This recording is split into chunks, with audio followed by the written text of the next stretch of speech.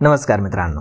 स्वागत आहे तुमचं आताच्या ब्रेकिंग न्यूजमध्ये मित्रांनो महाराष्ट्र राज्य परिवहन महामंडळ म्हणजेच एम एस आर टी सीनं एक क्रांतिकारी निर्णय घेतला आहे आता पुरुषांनाही एस टी बसमध्ये पन्नास टक्के मोफत प्रवास मिळणार आहे. याआधी केवळ महिला आणि ज्येष्ठ नागरिकांनाच ही सवलत होती.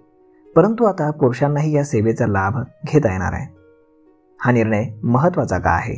तर त्याचं महत्त्व लक्षात घेण्यासाठी आपण समोरच्या पार्श्वभूमीकडे लक्ष देऊ. महाराष्ट्रामध्ये एस टी बस सेवा एक महत्त्वाचा वाहतूक साधन आहे. राज्यातील दूरच्या भागापर्यंत पोहोचण्यासाठी अनेकांना ही सेवा उपयोगी पडते. मात्र तीच सेवा अनेकांसाठी अनुपलब्ध असते. उदाहरणार्थ कमी उत्पन्न असलेल्या घटकांना एस टी बसमध्ये प्रवास करणं जमत नव्हतं. यावरती उपाय म्हणून राज्य सरकारनं सामाजिक न्यायाच्या दृष्टिकोनातून काही गटांना एस टी प्रवासाच्या तिकिटावरती सवलत दिली. या सवलतीमुळे गरीब घटक आणि कमी उत्पन्न असलेल्या ज्येष्ठ नागरिक मुलं विद्यार्थी आणि अपंग व्यक्ती यांना मोफत प्रवासाचा लाभ मिळू लागलाय. मात्र हा लाभ फक्त महिलांपुरताच मर्यादित होता. पुरुषांना अजूनही प्रवासासाठी काही मोबदला द्यावा लागत होता. त्यामुळे आर्थिकदृष्ट्या कमकुवत घटकातील पुरुषही एस टी बस सेवेचा वापर करू शकत नव्हते.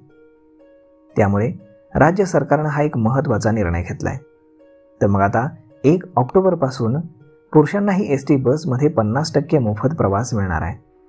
याआधी ही सवलत महिलांसाठीच होती. आता पुरुषही या सेवेचा लाभ घेऊ शकतात. ही सवलत लोकांच्या गरजांनुसार निश्चित केली जाणार आहे. एस टीच्या या निर्णयामुळे सामाजिकदृष्ट्या मागास असलेल्या घटकांना आर्थिक शैक्षणिक आणि सामाजिक विकास होण्यास मदत होणार आहे. ज्या घटकांना एस टी प्रवासासाठी खर्च करणं कठीण होतं.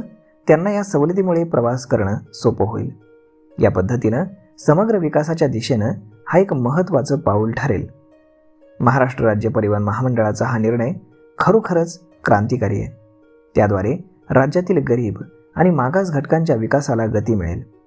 पुरुषांना एस टी प्रवासावरील खर्चाची बचत होत असल्यानं त्यांच्या कुटुंब आणि समाजातील भूमिका सुधारण्यासही फार मोठी मदत होईल. तर मग मित्रांनो एस टी महामंडळाचा हा निर्णय तुम्हाला कसा वाटला? हे तुम्ही आम्हाला कमेंट करून सांगायला अजिबात विसरू नका. आणि जर तुम्हाला आवडला असेल तर आपल्या जवळच्या मित्रमंडळींसोबत देखील हा व्हिडिओ तुम्ही शेअर करायला विसरू नका. धन्यवाद.